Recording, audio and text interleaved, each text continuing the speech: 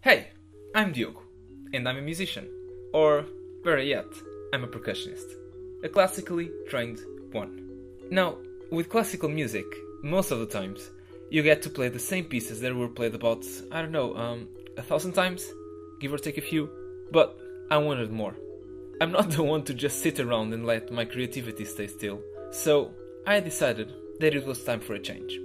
Percussion, as it is, it doesn't really reach everyone, so I created Percussion Meets World.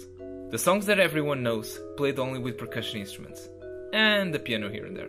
And to do this, getting my brother on board, and our dog, Will, of course. Together, we changed the way we want people to see music, one video at a time. Now, thing is, these videos were for me to get popular enough for something else. I wanted more. We wanted more. Everyone has a story to tell, and this is why Percussion Meets World is taking a 180 degrees turn and make a trip around Europe, meeting street musicians from every culture and every country. Europe, through the eyes of a musician. By clicking the link and with a small donation, you can make this dream come true. Be part of the change you want to see. Percussion Meets World.